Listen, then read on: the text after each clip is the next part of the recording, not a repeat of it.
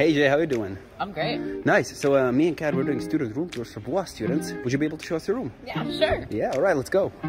This time we are very close to uni, almost next to it, pretty close to the center. But tell us, how do you usually travel around? How long does it take you? To school, I usually walk. It's about a seven to 10 minute walk, but I know it's about three songs worth. Or one free bird. Yes, exactly.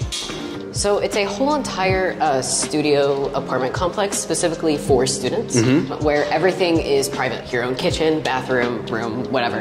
The laundry is separate, it's in that room. They have washers and dryers, which is really nice for me. Wow. Welcome. All right.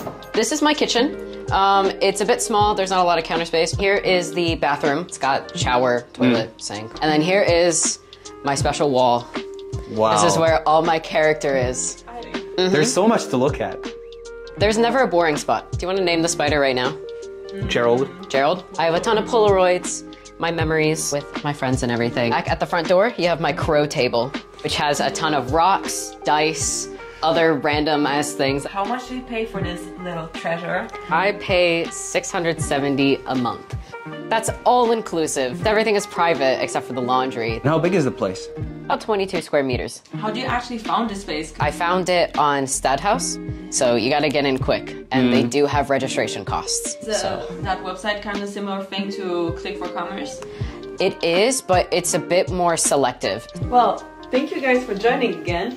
See you next week with another room. And if you have any more questions, look at the description down below. All right. Get out. Okay, we're going. Fine. Leave. I'll uh, Take I'll, the shoes. I'll see you tomorrow. See you at school. Bye.